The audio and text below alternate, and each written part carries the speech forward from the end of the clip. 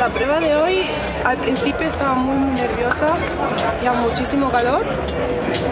¿Qué te voy a contar? Ahora todo es bueno, ¿no? Ahora no me acuerdo de todo lo malo de los primeros saltos. Empezando ya con 14, 15 ya vas muy relajada. Entonces ha sido una prueba muy buena, muy buenas sensaciones. Es que no puedo decir nada malo de esta... ¿Qué supone, Hay cosas malas pero no las veo. ¿Qué supone para ti ser campeona de España? Hombre, después de, como ya habré repetido muchas veces, después de tres años bastante duros, más que un premio para mí, ha sido un premio para todos los que han estado apoyándome y confiando en mí estos dos largos años, tres años. Entonces, para mí supone el premio no solo para mí, sino para ellos, más que nada, un agradecimiento, vamos.